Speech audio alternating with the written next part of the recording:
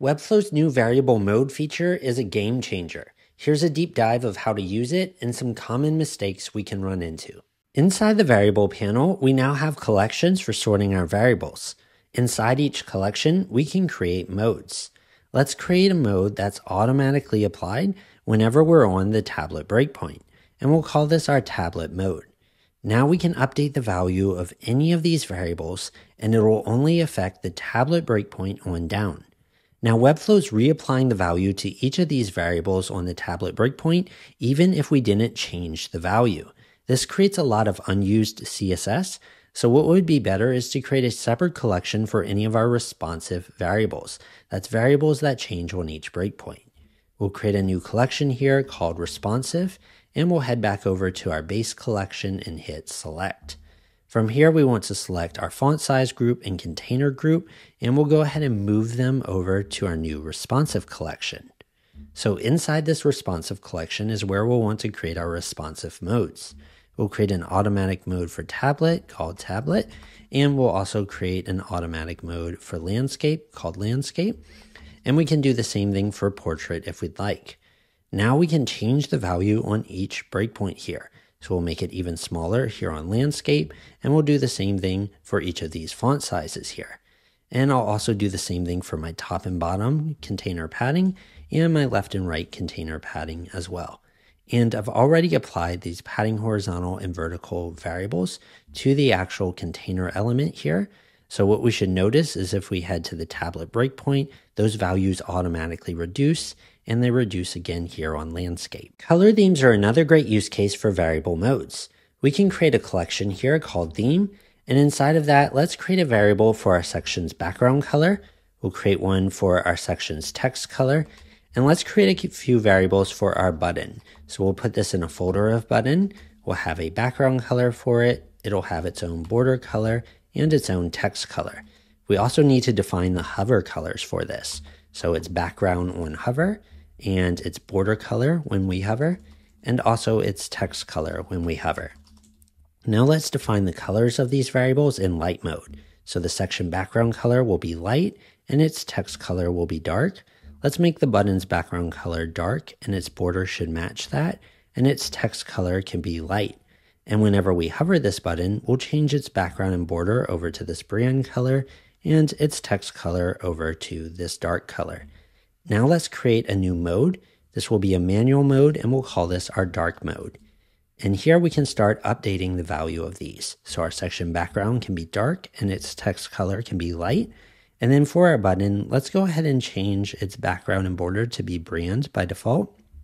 And we'll make its text color dark. And we'll also go ahead and change its hover to be light and its text color can be dark. So now that we have that set, let's start applying some of these variables. And we'll notice that the variable name actually includes the collection name. So this is underscore theme, which is the name of the collection, three dashes, and then the variable name, background. And if we take a look at one that's inside of a folder, we'll notice we still have underscore theme, three dashes, the folder name, two dashes, and then the variable name. So it does get a little bit longer for the variable names to have them in folders. I like to have them directly inside the collection when possible. Now let's head over to the body and we'll go to body all pages tag and we'll go ahead and apply a background to our body of theme background and a text color of theme text. And let's also go ahead and select this button and we'll set its background color over to button background. We'll set its border over to button border and we'll set its text to button text. And whenever we hover on this button, we'll change its background over to the background hover, its border over to border hover, and its text over to text hover. And now that we have that set, let's try switching the theme on the body. So we'll create a class called uThemeDark, and we'll go ahead and attach a variable mode to this class. This will have a theme of dark. And when we do that, notice the button's color and its hover has changed here. And the body color has changed before it had a light background with dark text. And now with that class applied, it's going to have a dark background and light text. Now, if we try and use this theme dark on maybe a section instead of the whole body, we'll notice if we apply this class here, the button's color changed, but the section background color did not, and neither did its text color. And if we look at that, that's because the section doesn't have a background and its text color is just inheriting from the body, and the body text is dark. So one thing we could do is manually apply our theme background and theme text to this section before switching its mode. Because if we just switch the mode alone to dark, it's only affecting those child elements. It's not affecting this parent till we actually apply that theme color to it. But one thing I like to do is just attach the background color uh, directly to the theme dark because most of the time when we switch a theme, we also want to see it on the background and text color of that element. So once we apply those, now we can use this theme dark uh, class on any sort of element and it'll automatically switch the background color of the element. We can still, of course, override this on the individual section to any other text or background color, but it's going to default to that theme uh, sort of background and text. When possible, I would try to avoid applying modes to a custom class like this because Webflow stores all the variables for that mode on that class. Right now we just have a few variables, but when we get more for theme link colors and card colors, this could quickly bloat our CSS. Instead, we could apply those modes to a reusable class, like this theme light, and just apply this theme light anywhere we need our light mode. This can save some CSS. There may be still a few cases where we'll need to manually change the theme across breakpoints and use a custom class for that, but using utilities can help a lot. Now, some sites will need different brand colors that they can swap out, and to do that, we can create a collection here called brand, and inside of that, let's go ahead and create a color, and we'll add a few modes. These will be manual modes for brand 2 and another for brand 3.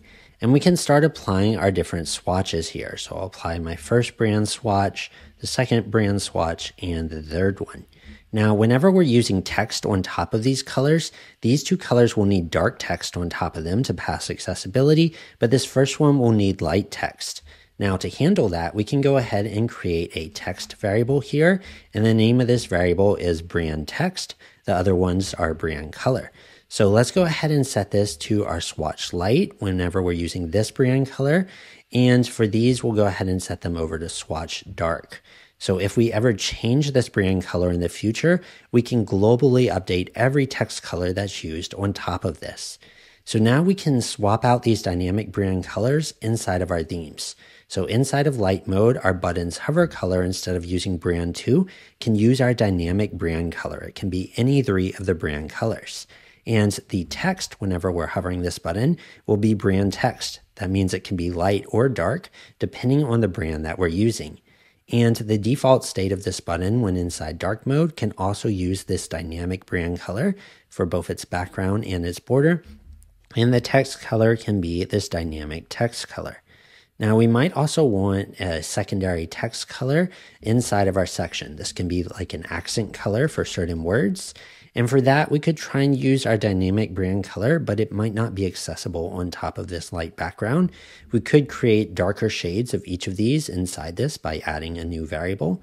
But for now, inside of light mode, I'll just go ahead and apply this sort of, um, we'll go ahead and apply maybe a swatch of dark secondary. So it's a little bit lighter than the main text color. Now inside of dark mode, this is where we'll make this highlighted color really shine and we'll use our dynamic brand color so that can swap out. So now we'll go ahead and apply this text secondary to a certain heading inside of this section. We'll create a class of view text color secondary and we'll go ahead and set this text color to be our dynamic theme text. That means inside of dark mode, it'll be this brand color, but if we apply that same theme text inside of um, light mode, we'll notice it's just a more highlighted version of the main text color. So now we want to try and switch out this brand color. And I'm going to do this on this button wrap for starters. We'll notice if we switch the brand to brand 2, nothing's actually changing. Now, if I have a div inside here and I set its background to reference the brand color, the dynamic brand color directly, we'll notice that this div is actually changing in color when I swap out any of the brands. But the buttons aren't changing because they're not referencing the brand color directly. Instead, they're referencing the button variables, which were applied inside of our theme. So the theme here is set on the entire section. And when we set that theme on the section, it grabs whatever brand color was at the time. In this case, it was purple, and it uses that from that point on. Now, if we reapply our dark mode, now we'll notice that the brand color actually switches, but we want this, this dark mode to inherit from the mode of the parent. So we're gonna go ahead and clear that out here, and we'll clear out our brand here.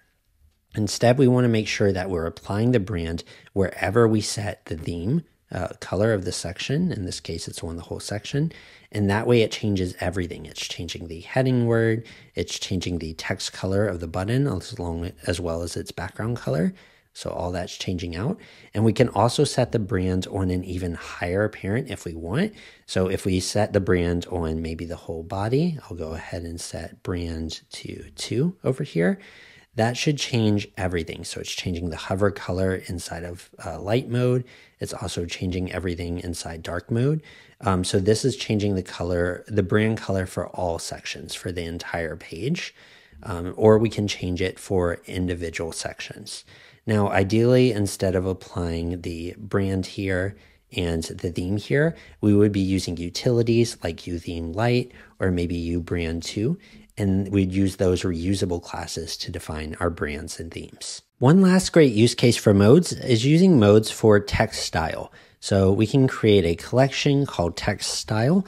Usually we don't use font size alone. Usually the larger our font size gets, the tighter its line height and letter spacing gets, the more bold it is. So we can use those collection of styles together to create a font style. So the first will be font size, the next might be font family, the next one can be a unitless number for line height. We can have another number for font weight, and we can have a size variable for letter spacing. And we can add anything else to this, like if we want a size for margin top and margin bottom, and that could be different across each size level. So this base mode here is going to be for the body and the paragraphs. So we can set this to our default most used sort of style here. 1.5 line height, the font weight can be 500, and the letter spacing can be 0m. But now we can create a mode for each of our different styles. Maybe we have a paragraph large or an H6. In this case, I'll skip to my H2 and we'll go ahead and change the font size on it. We'll keep the font family being inherited.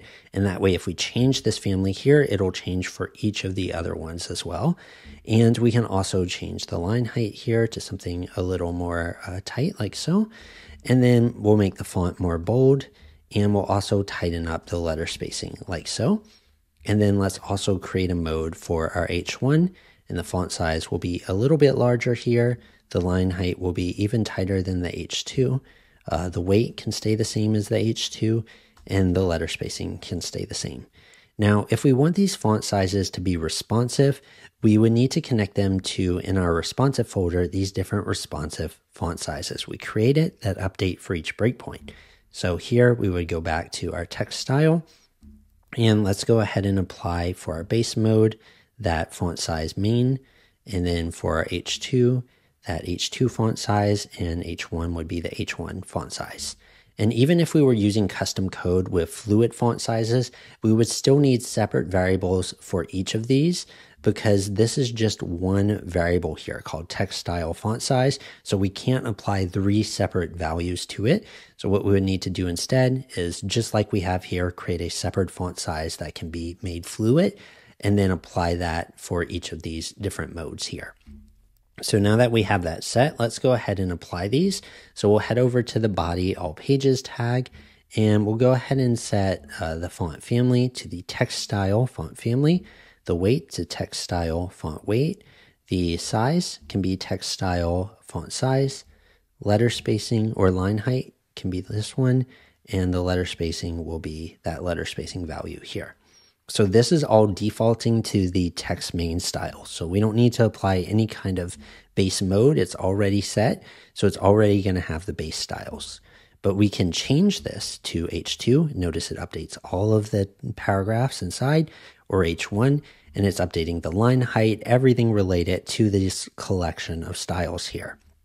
Now we can go ahead and apply that to maybe this H1 here And I find the fastest way to apply it is it's already inheriting this value from the body. We just need to reapply this text style font family. So if we click and hit our enter key, it'll reapply and we can just do that for each of these values. I'll go ahead and reset this one. I'll click and press the enter key. It already has the correct variable selected. Here we'll reset. We'll click, press enter, and that's a fast way to just reapply the text style sort of variable. So once all of those are reapplied, now we can go ahead and set this uh, mode over to H1 like so, and we have all of that set. So if we're using an H1, but we want it to look like an H2, we can easily just switch the mode that we're using on it. Or if we want to change this across breakpoints, maybe for some specific reason we were using an H1, but on a certain breakpoint we want to switch it all to H2, we can easily do that here before it would be really tedious to manually reapply the H2 variables for each of these. But with modes, it makes it super easy. Lastly, let's look at how to connect these modes to component props. The way that creates the cleanest code would be to create a class like uThemeDark and attach the theme to that and then we would use that class under settings as a class attribute. And that way we can just reuse this class across multiple sections and we can connect that to a component field, maybe called theme. And that way on the entire component, we can switch the theme between light, dark, or any other theme that we might have. Now, if you don't want to have to remember the class name exactly, then we could use component variants instead. Now, I would still recommend by starting with something like utheme light or dark, whichever one should be the default, because it's going to save some code, meaning that that style is already applied in the class, and we don't have to reapply some of the stuff. The thing that we will need to reapply is switching over to dark mode or the opposite theme. So we'll create a variant here called dark, and we'll go ahead and change our theme over to dark mode on this variant. So that's adding a little new CSS to our project just to switch to dark. And then we'll rename this first one to light and we'll rename this variant to be theme. And this way we get a nice drop down to switch between light and dark on the whole component. So that's a high level overview of how to use variable modes. I hope this tutorial helps you get started in your project.